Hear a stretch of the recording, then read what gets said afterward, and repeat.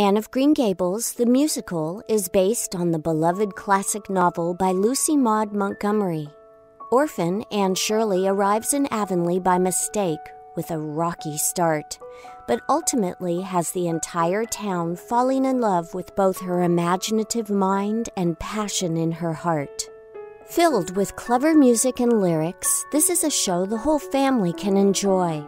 Anne of Green Gables, the musical, opens September 15th at the Woodland Opera House for two weeks only.